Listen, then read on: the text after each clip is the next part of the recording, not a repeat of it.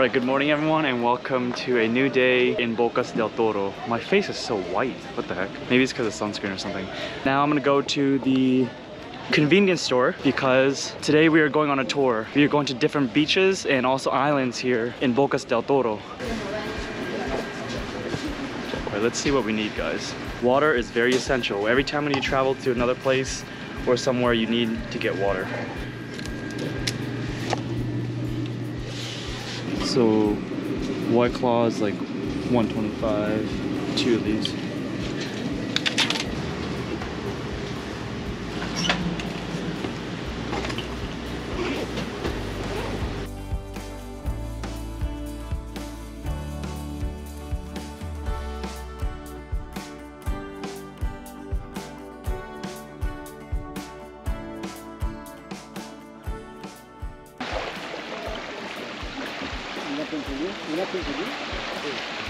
Alright guys, so now we are in Isla Zapatilla. This island is in the southeastern region of Bocas del Toro and it's kind of like this chain of islands, small islands here in Bocas del Toro. The beach area where everyone's just here.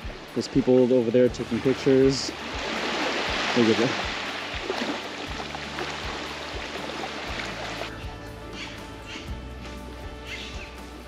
We are in now kind of like the inland of the island. It's a very small island here. You hear the birds chirping. There is one house here. But I think this is like a house for someone who like works here. There are like water tanks. So it's very interesting. People that live on the island, they do not have running water. The water source that they get is from above. So the rain. So every time it rains here, they collect the water into these blue barrels right here and then they use that to you know wash their face brush their teeth um, drink. They also have kayaks right there. And look at this tree. Wow. It's like a bonsai tree. Look at this. It's like a real large bonsai tree. Yeah so i'm gonna take you guys around the island first. We're gonna walk inside the island. And then later on i'm gonna show you guys the beach part where we're gonna be swimming there are you know, sharks out there, tiburones out there swimming right now. So I'm gonna avoid the beach for now and then just explore the inland first. And then afterwards, we'll go and swim outside. So like these, there's trees here that have like this fruit. I'm not sure what fruit this is. It looks like, look at this guys. I don't know what the fruit that is. Looks very similar to like chir uh, chirimoyas um, found in Ecuador. But I know it's not chirimoyas because they grow in really high altitudes. So I'm not sure what that is, but that's so cool. There's like these trees coming out with these fruits.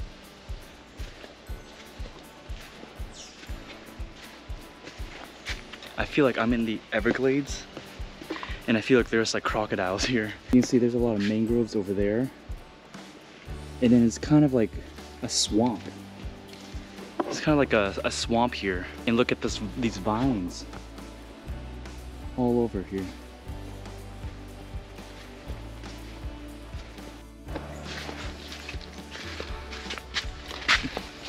I'm at this board. I've been walking for like 10 minutes now. There's like this boardwalk I think leads to a beach. I think. So let's see.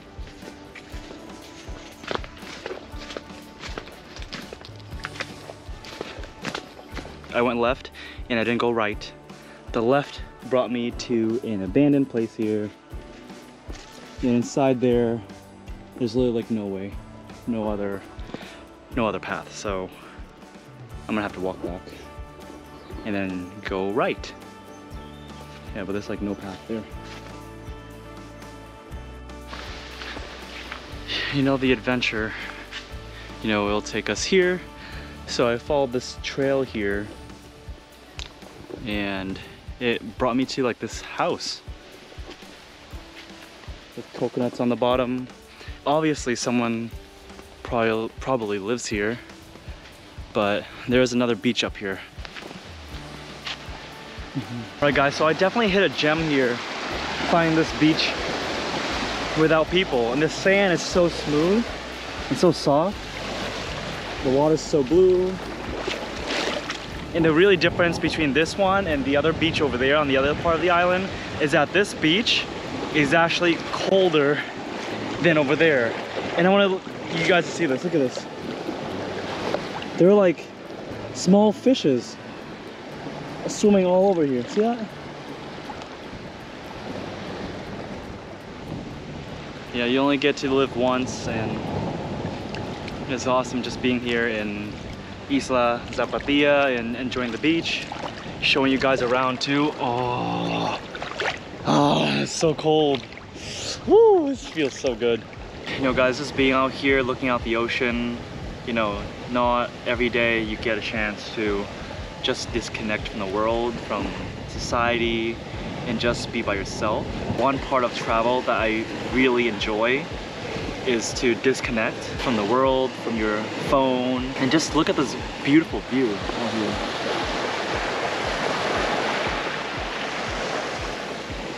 and also appreciating the little things in life. I think travel is an opportunity not to just experience and create memories, but it's also, I believe, a journey within. It's a journey inside of you to see who you really are and see who you want to be in the future, to reflect on your experiences. You know, I'm just taking it all in, guys. It's remarkable. And it's so beautiful out here.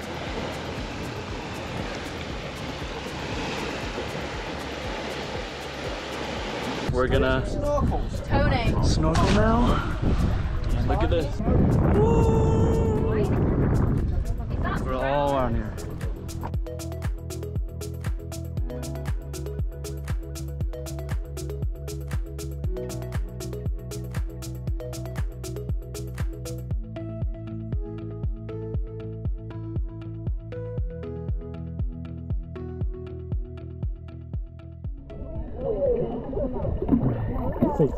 Wait, wait, wait.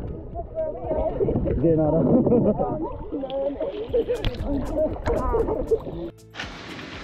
Good morning everyone! Today we are still here in Isla Colon. We are gonna head out to the airport and we're gonna take the island plane, this small kind of plane with like 30 people, and we're gonna take that plane going to Panama City.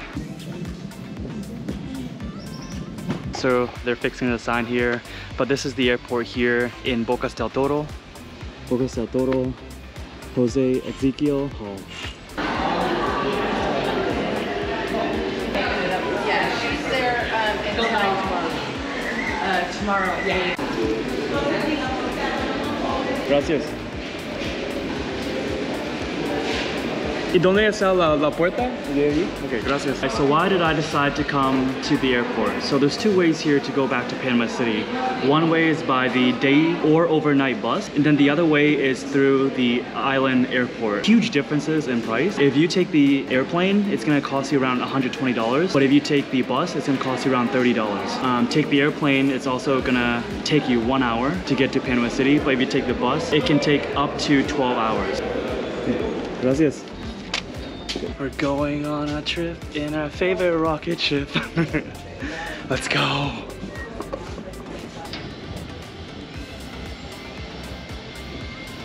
Por favor, apague y guarde todos los equipos electrónicos desde este momento el uso de celulares o dispositivos. El extremo plano de Villa y la correa para ajustar.